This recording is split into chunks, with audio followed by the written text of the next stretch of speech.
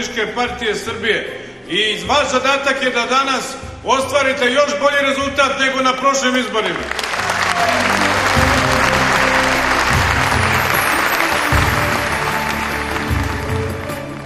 Svako ima svoju stranku. Svako se bori za svoju stranku i za svoju koaliciju. Mi moramo se borimo da ošemo što veći broj glasova.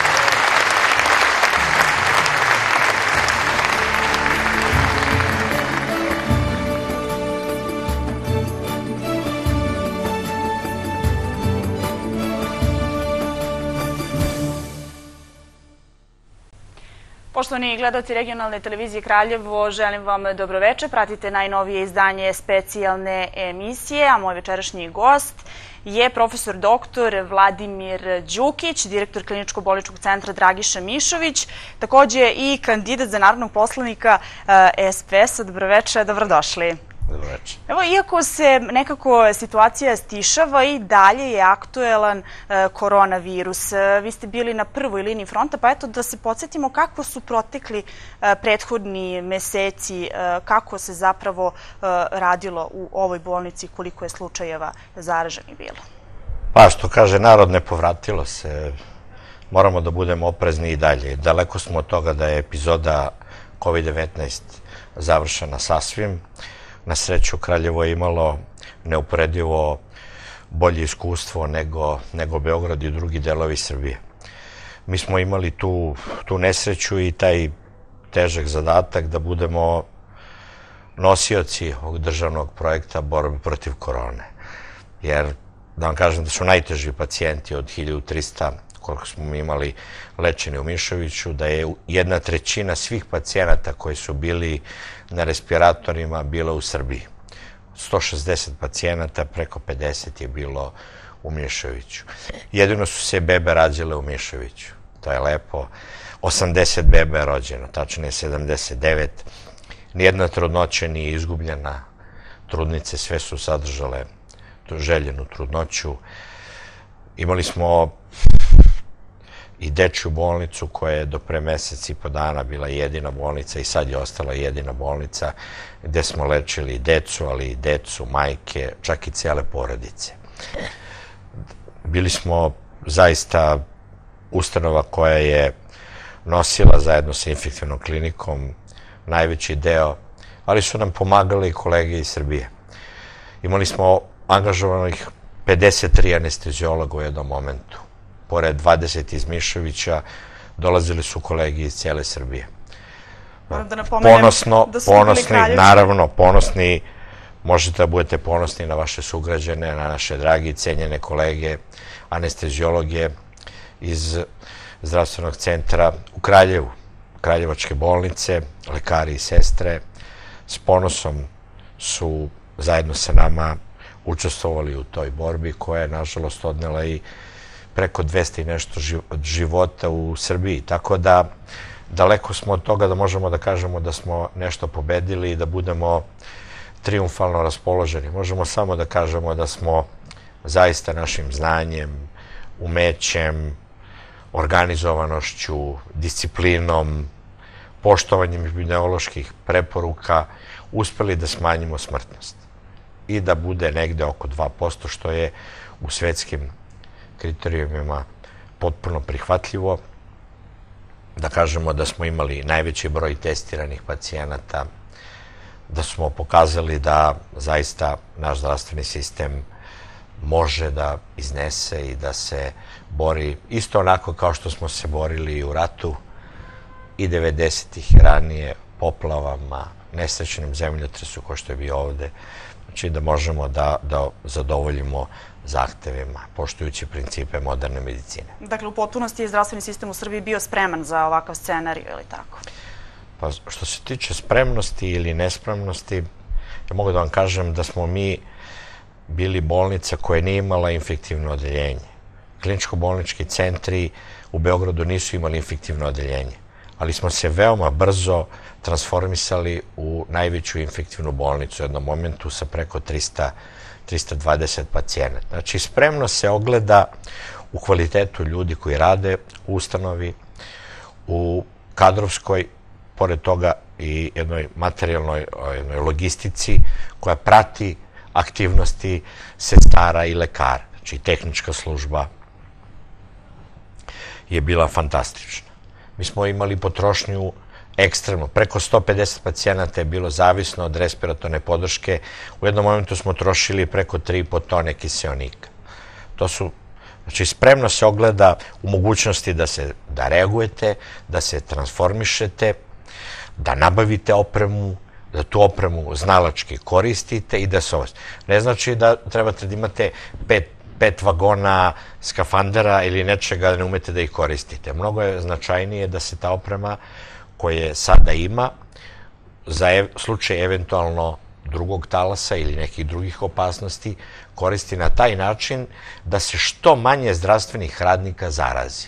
Mi smo ukupno imali osam lekara i 14 medicinskih sestara, 15, koji su ovaj, iz Mišovića i kolega jedan sa, sa Banjice koji je bio kod nas, koji se razboleo i još jedan kolega, znači to je, to je 24 čoveka, 24 ljudske sudbine koje su bile zaista ovaj, najveće opterećenje sve ovo vreme trajanja covid -a. Sve vreme sam u suštini razmišljao o tome da se nekome o ljudi koji leče bolesne neka fatalna komplikacija ne desi. Bilo je i teško obolelih, na sreću ponosno, mislim, uzdignuta čela i sve mogu da ih pogledam oči. Dakle, i postojala je jedna doza straha među zaposlenima, ako se ne varam. Apsolutno ste u pravu. Apsolutno ste u pravu. Strah i e, psihoza straha su bile stravične u početku. Kad ste dobijali vesti iz Italije i Španije, gde, su, gde je smrtnost prelazila hiljadu ili osamsto, Tako, ne možete da kažete da organizovana zemlja tipa Italije, koja ima nosača aviona, koja ima Fiat, Olivetti, centar svetski mod, zemlja Leonarda da Vincija, da su to ljudi amateri. Ne smemo da zaboravimo da je Bergamo, centar epidemije u Lombardiji, mesto gde su decenijama srpska deca išle na transplantaciju jetre, gde je jedno od najboljih centara u Evropi, gde i Hrvati i Slovenci isto šalju njihove male pacijente. Znači, to su ljudi koji su i tekako dobro radili svoj posao i znali su svoj posao, ali očigledno da je naša epidemiološka služba reagovala pravovremeno, da se ta krivulja uspori, da se zaravni nivo i da imamo vremena, da smo prosto kupili vreme da se dobro pripremimo, da ostali bolnički centri koji su radili, KBC e, Zemun i Zvezdara bolnica zadovolje ovaj, taj, taj uslov koji je bio i naravno ostale bolnice u Srbiji koje su paralelno radile, koje su morale da rade, da zbrinjavaju i hitne i onkološke pacijente, a i da vode računa o stepenoj izolaciji i poštovanju preventivnih epidemioloških mera kao što je bilo s našim kolegama u Kraljevu. I kada već pominjemo e, Kraljevo, moram e, napomenuti da smo mi negde na dobrom putu, ako smem tako da kažem, jer već treću nedelju e, nemamo ni jednog registrovanog zaraženog.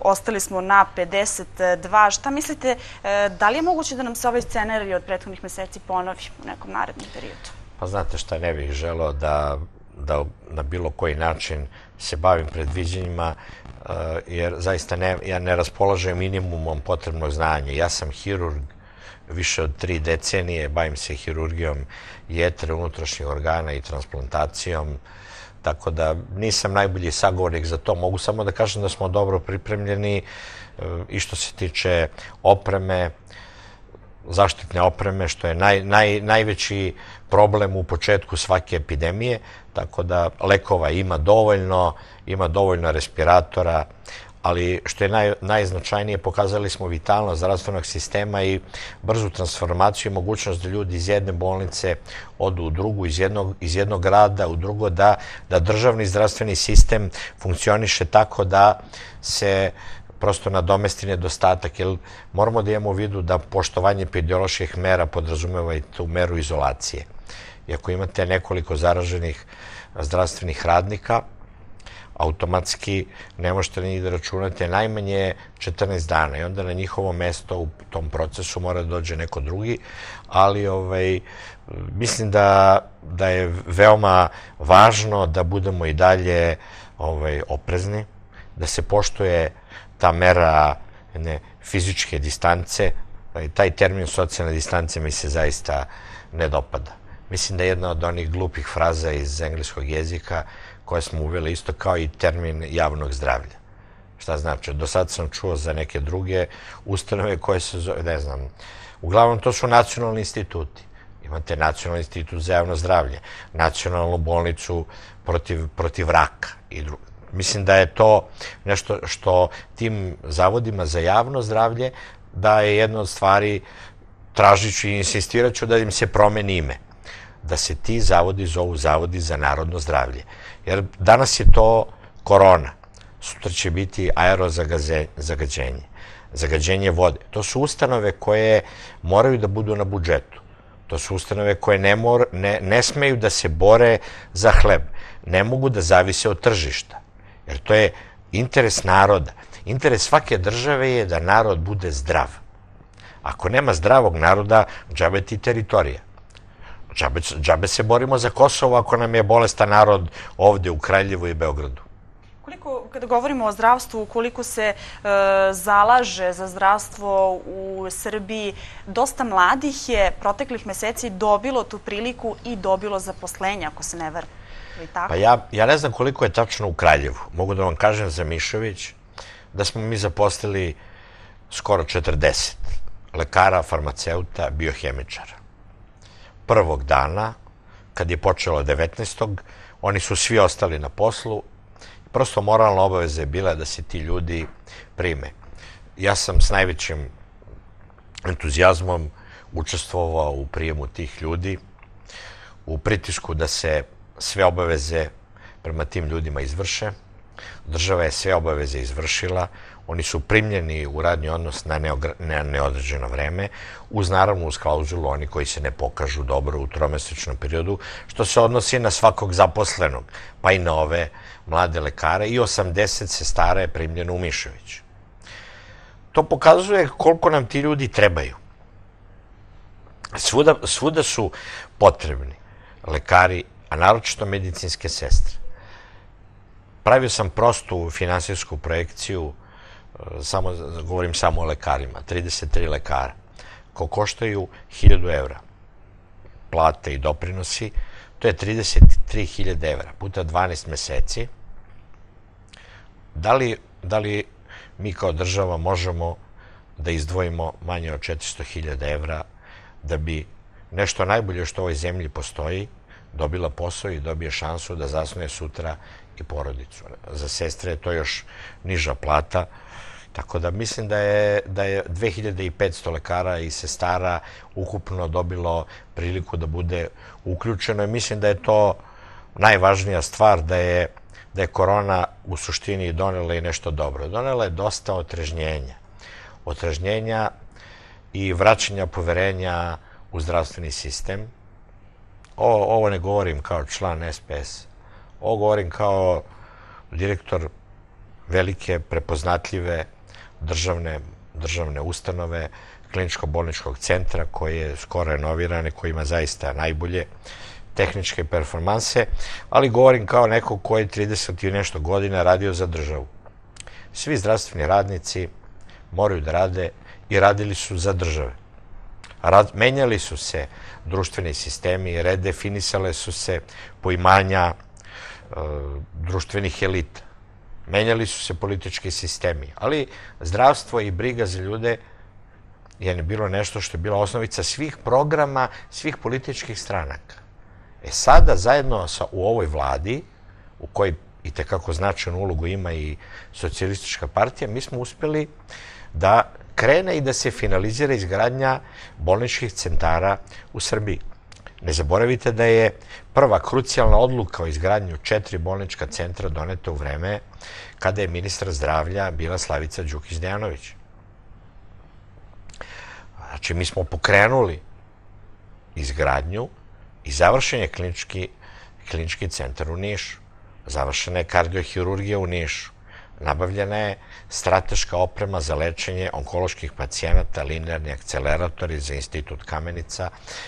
Mnoge stvari su urađene i započete su. Naravno, kredit o izgradnji četiri kliničko-bolnička centra je donete su neke prethodne vlade. Ali sedam godina se nije maklo dok nije došla ova vlada u kojoj, su, u kojoj je učestvovala. U delu rada ministarstva je tada sa pozicije državnih sekretara učestvovali su i moje kolege iz Srpske napredne stranke. Kasnije, kada je ministar došao iz Srpske narodne stranke, mi smo s pozicije državnih sekretara davali tekako značajnu podršku razvoju zdravstvenog sistema i infrastrukturi zdravstvenoj uopšte u Srbiji. Tako da s ponosom mogu da kažem da je zdravstvo i državno zdravstvo zaista dosta napredovalo u poslednjih godina. A kada govorimo o Kraljevu, da li možemo tu nešto da kažemo? Pa ne znam, nije možda lepo da, da vam kažem, ali s ponosom mogu da, da dođem i da pogledam Kraljevčanima, jer smo donali odluku tada i za mesec i po dana smo ovaj, 88 miliona uplatili za renoviranje internog odeljenja Kraljevačke bolnice. To je zaista jedna odlična, odlična bolnica sa izvanrednim kolegama, kolegama koji su i dosta donacija pribavili, ali mislim da je država pokazala i tada, a naravno i sada, sa drugim ministrom, da vodi brigu o, o zdravlju Kraljevčara. Tako da 88 miliona je iznos koji nije fascinantan u odnosu na, na milione eura koji se danas ulažu, ali u to vreme je bio veoma dobar, dobar pokazatelj trenda da, da Ministarstvo zdravlja i tekako prepoznaje značaj bolnice u Kraljevu. I evo sada želim da mi na ovo pitanje odgovorite kao član eh, SPS-a. Koliko se SPS zalaže za zdravstvo u Srbiji? Šta je to što je prioritet? Šta ćete raditi u prvom redu, U prvom redu se zalažemo za poboljšanje standarda zdravstvenih radnika. Eh, želimo da se obezbede stanovi po subvencioniranim cenama za sve zdravstvene radnike po istom principu kao i za pripadnike vojske, policije i bije. Mislim da zdravstveni radnici to apsolutno zaslužuju, bez obzira da li su e, lekari, da li su medicinske sestre, tehničari. S druge strane, e, plate su sada neuporedivo veće. Između ostalog i mi smo na tome insistirali, tražili, e, poštovali želje sindikata, aktivno učestvovali u izradi zajedno sa Ministarstvom za lokalnu samoupravu kataloga zanimanja. Sada su visoke strukovne škole i specijalističke studije za medicinske sestre prepoznate u katalogu zanimanja. Dosta je učinilo ministarstvo ministra Ružića u tom. Pored, naravno, ovih e, skoro 200 miliona dinara koje, koje preko institucija lokalne samouprave došlo u Kralju. Ali mislim da je to važno da je da se vratim na prethodno, mislim da je jako važno da je ovaj period doneo vraćanje poštovanja u zdravstveni sistem i poverenja u zdravstvene radnike. Mislim da, mislim da je, ljudi su shvatili da je državno zdravstvo daleko superiorno. Upravo za ono što se socijalistička partija i zalaže.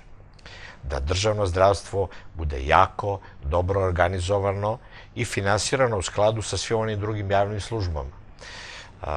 Drugo, socijalistička partija se zalaže i za otvorenost sistema visokog školovanja u Srbiji. Ne kažem demagoški besplatno. Hajde da objasnimo malo drugima. Nego jednostavno, studentski domovi moraju da budu otvoreni. Domovi za srednju školu, učenički domovi, takođe. Kako ćemo mi bez kritične inteligencije, bez mladosti i studenta, da kreiramo normalno okruženje. Ako ne postoji snažna, prepoznatljiva i poštovana levica, ako ne postoji neko ko baštini ideje socijalne pravde u svim sredinama, kako će moći novinari, kako će moći profesori istorije, kako će moći da se snađu i da poznaju sebe i da se uključe u sistem surovog kapitalizma ekonomije gde se samo forsira IT. Da li profesor istorije ne treba da bude isto tako nagrađivan kao i profesor IT-a? Ja mislim da mora. Mislim da profesori filozofije, sociologije, psihologije, istorije, da li novinari moraju da budu e, žrtve nekog sistema koji će jedino profit da stavlja u prvi plan? Mislim da je, pored medicine, čitava paleta društvenih nauka, nešto na, u čemu je socijalistička partija mora da istrajava, da traži svoje mesto.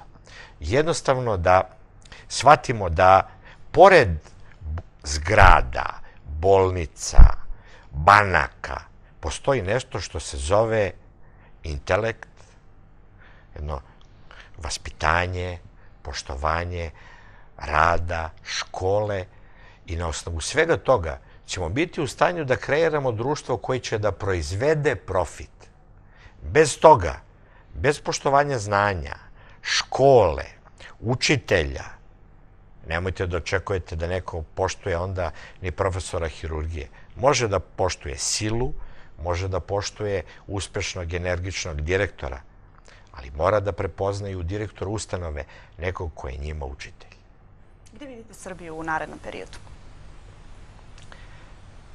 Prvo da vam kažem, želeo bi da Srbija nastavi ovim putem.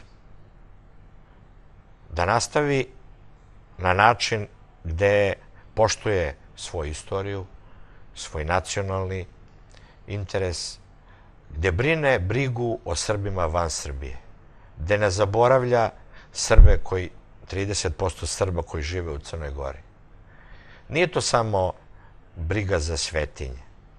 Nije to briga samo za manastir Krka u Hrvatskoj, za patrijaršijski dvor u Dalju, u Slavoniji. To je briga za svakog Srbina koji živi van Srbije. Za te Srbe i ljude u rasejanju koji su želeli da se vrate u Srbiju.